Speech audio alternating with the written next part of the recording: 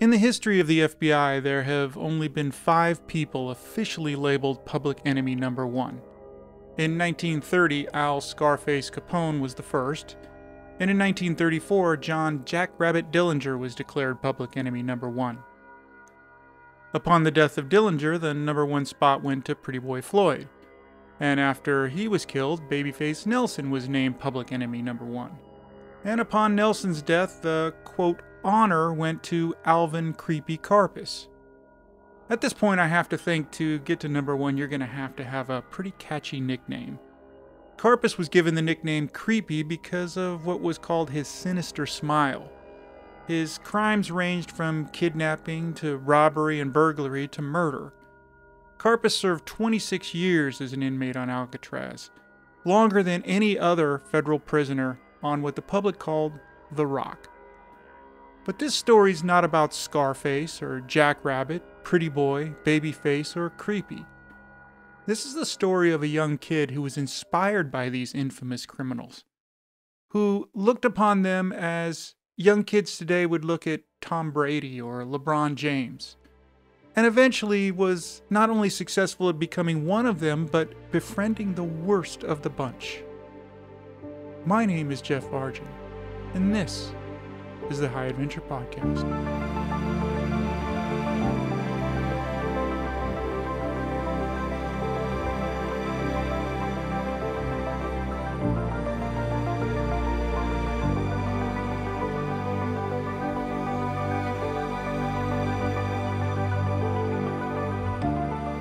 Welcome to season four of the High Adventure Podcast. If you're new to the High Adventure Podcast, I'd encourage you to go back and listen to the previous seasons. I think you might enjoy some of those stories.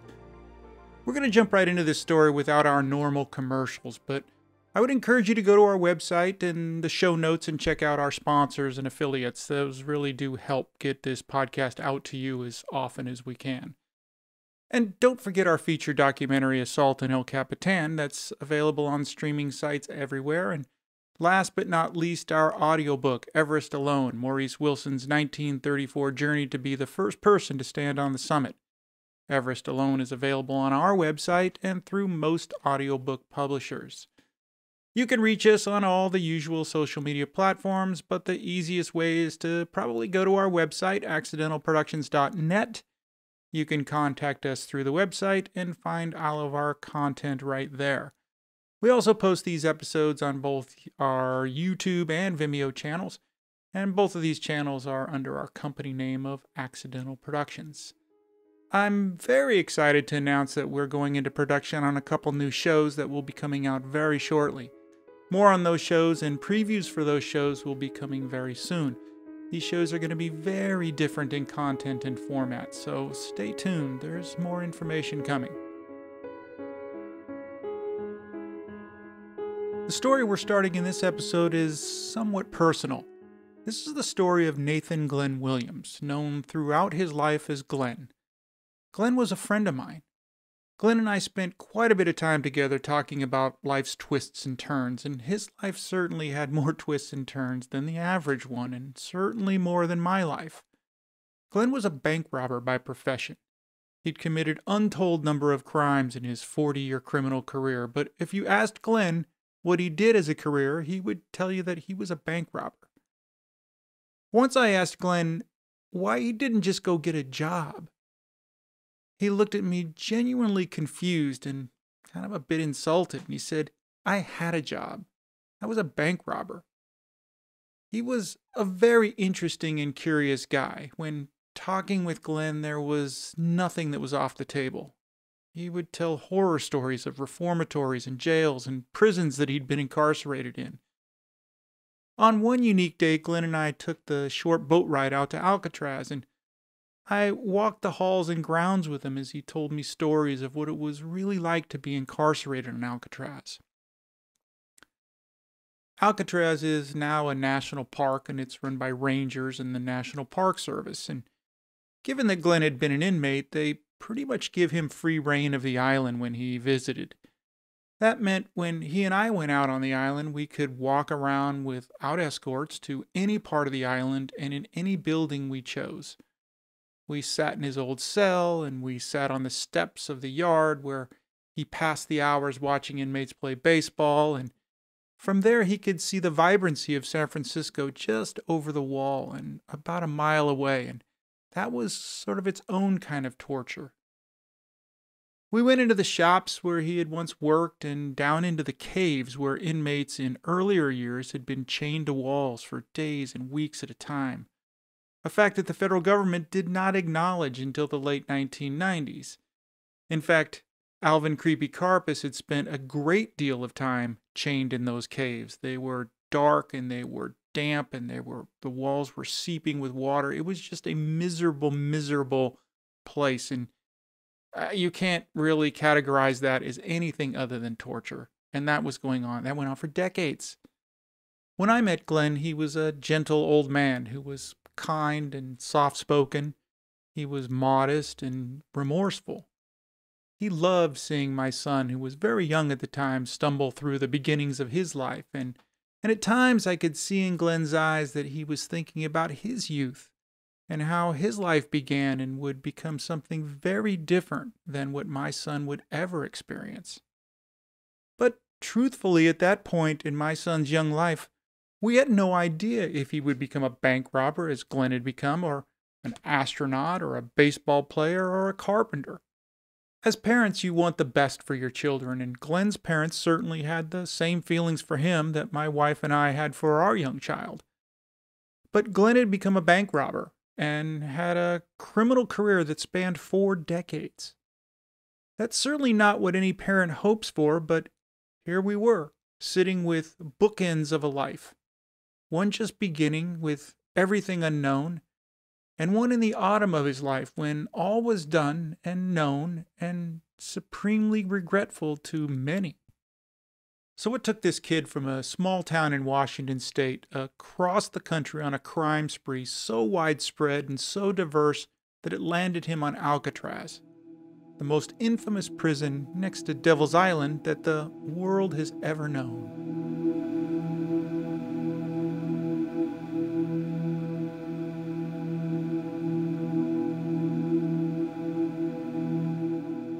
There was a quarter moon hanging halfway across the Bay Bridge. It was dark, and the choppy waters of San Francisco Bay were slapping against the hull of the small wooden boat. Between the slapping waves and the sputtering diesel engine, it was hard to hear the rattle of the chains that had incapacitated him and the twelve other men who likely thought this was the last boat ride they would ever take, at least while alive. Soon he would step on to Alcatraz, and it was unlikely he would ever step off. He remembered that three months earlier, an inmate had tossed a note into his cell while he was in McNeil Island's federal penitentiary. The note read, Rumor has it pretty strong that you are slated for Alcatraz.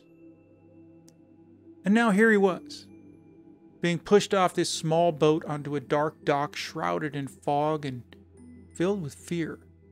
Nervous guards pointed rifles at them from three feet away.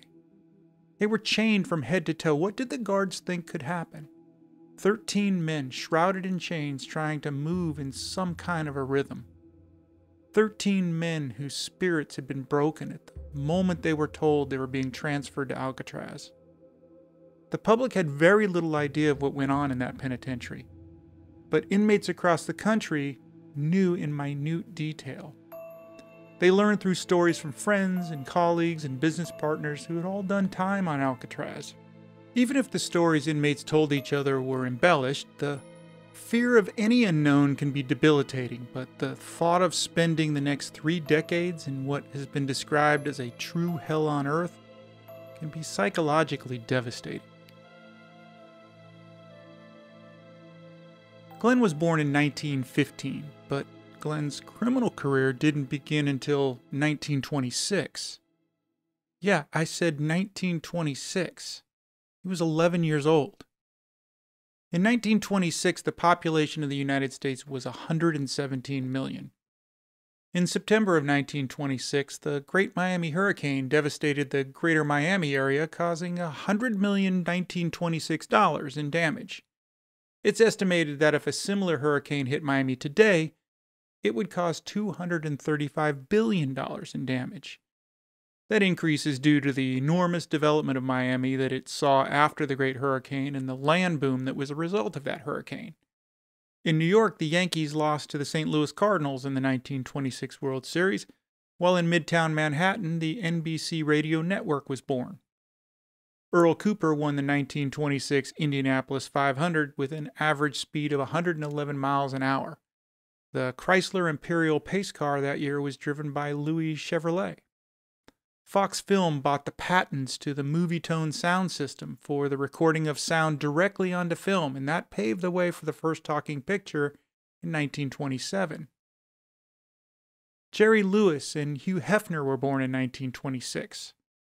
Harry Houdini, Rudolph Valentino, and Abraham Lincoln's son Robert Todd Lincoln died that year.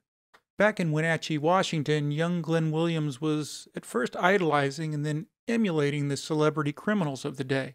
The newspapers and then the newsreels that were shown in theaters before each movie chronicled and mythologized criminals like Al Capone and Machine Gun Kelly, John Dillinger, and the man who would become close friends with Glenn, Alvin Creepy Karpis. Communication in the 20s and 30s was certainly not what it is today. There's no internet, meaning there's no email, no social media, obviously, and the television industry was in its very, very early infancy. So, unless you were one of the few public enemies number one and got your face in theater newsreels, no one really knew what anyone else looked like. A career criminal could crisscross the country unhampered by the fear of being recognized. Though the fax machine was invented in 1846, law enforcement wasn't using faxes as a communication tool. Everything was very local, and crime and trouble was handled locally, and when a criminal left town, it was more a relief than one of dogged pursuit from city to city. Most crimes were never reported to other cities or other law enforcement agencies. It was the neighborhood cop on the beat time. As the FBI developed and spread across the country, they occupied themselves with big crimes and doing whatever they could to bolster the ego and the whims of J. Edgar Hoover, who was a lot more interested in his own power and fame than actually stopping crime. Catching high profile criminals gave him fame and power, but didn't do much to actually curtail crime in the form of low level criminals who traveled the country passing bad checks and robbing small rural banks of small amounts of money. As a kid, Glenn idolized the criminals he saw in the newsreels and at the movies and he wanted nothing more than at the age of 11 to become one of them. He read every story he could get his hands on that chronicled drug dealers, gun runners, bank robbers, and murderers. Though his parents forbid him and his brother from seeing these movies that portrayed criminals, Glenn would lie to his parents and go to the theater and see these movies anyway. For some inexplicable reason, Glenn began to despise anyone in uniform and anyone in a position of power, and this included police and his teachers. Glenn's reaction to discipline was lashing out and fighting. Anyone trying to stop Glenn from doing what he wanted to do would find themselves defending themselves against a flurry of fists, and that included police and teachers. Early on, the police would pick up Glenn and they would take him home and lecture him on the trip back to his house. Getting home meant the usual beating by his father with a branch from an apple tree. Wenatchee, Washington in 1926 was an economically depressed town that each year was invigorated by the fruit crops that brought work and money to town. But the normal state of Wenatchee was less than utopian. Coal in those days was the primary source of fuel. Stoves burned it for cooking, and that same stove doubled as the single heat source for the entire house. The local coal company that sold the coal was housed next to the railroad tracks where coal cars came in daily and offloaded their cache of cargo. Men shoveled the coal onto conveyor belts that transported the coal into the large coal house before being sold and delivered to the wealthier citizens of Wenatchee. The poorer people of Wenatchee would take a shovel and wheelbarrow down to the coal house in the evening and scavenge the small piles of coal that had fallen off the conveyor belt onto the ground. Glenn later remembered how sad he thought it was that the poor were reduced to waiting for coal to fall to the ground so they could scavenge it for themselves. Not for profit, but as a staple for sheer survival.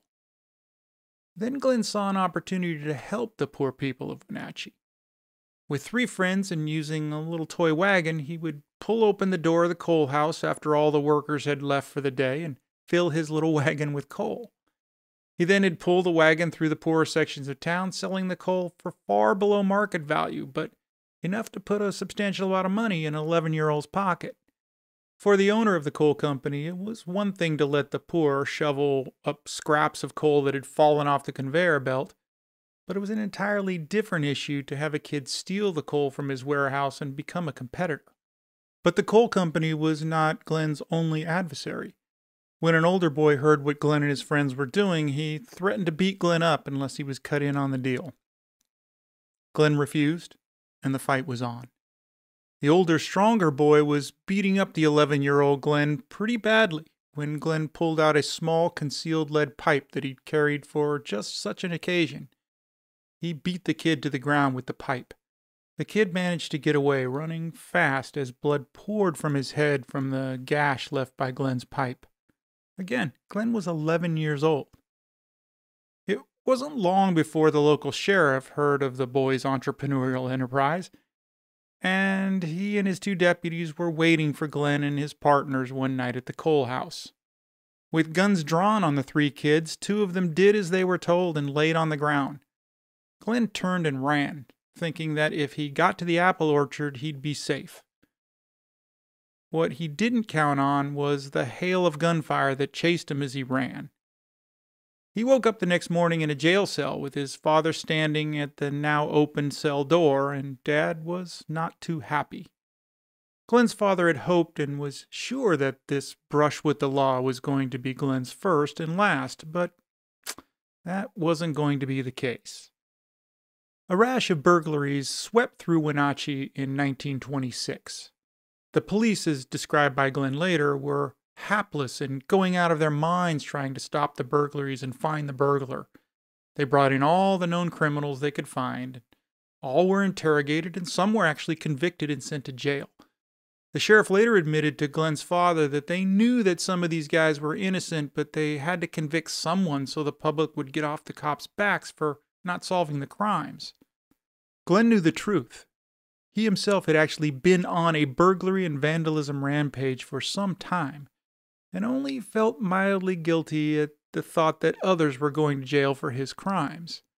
After all, he was 11 years old, and they were criminals who seemed unable to avoid the police as he had successfully done, at least during this series of crimes. Soon Glenn was ready to move up and on in his criminal activity. He was soon burglarizing three to four houses a week, but as a kid, what could he take? What does an 11 year old want? He took pocket knives and coins and other small items that a kid might want. But on one life changing night, euphoria washed over him as he opened a bedside drawer and found a loaded handgun. He thought this was the one thing that was missing that could make him a serious criminal. It was like a virtuoso musician finding an instrument. At that moment in 1926, at age 11, Glenn's legacy was cemented. If crystal balls were real and Glenn had one, he'd be able to see himself 27 years later shackled to 12 other men in a cold, dark, damp boat motoring to the most infamous prison in the United States history. One day, shortly after stealing the gun, he was showing his classmates at school how to load and unload the gun. When seen with the gun by his teacher, he ran off from school, and in a surreal moment after coming home from school, his mother was waiting for him with a stick. She instantly began hitting young Glenn with the stick and demanding that he give her the gun. But Glenn had hidden the gun in a tree on his way home and honestly told his mother that he didn't have a gun. The cat was out of the bag later in 1927 when 12 year old Glenn's mother came into his room to change the sheets on his bed as she peeled back the sheets, she found several rifles under the blankets. Searching his room, she found stolen coins and other stolen items, and inside a shoebox, she found a loaded handgun. What she did next was brave, curious, and I'm sure heartbreaking for her. She found Glenn in the front yard, grabbed him by the arm, and marched him down to the police station. Glenn's brother carried the stolen property and the guns.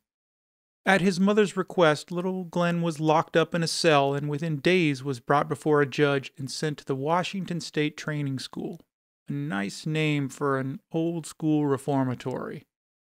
The place was described as tough.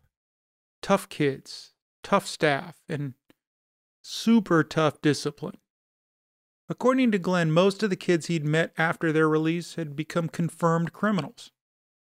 The nickname of the school was College on the Hill, and it seems that's what most kids got there was advanced criminal training and a lot of beatings.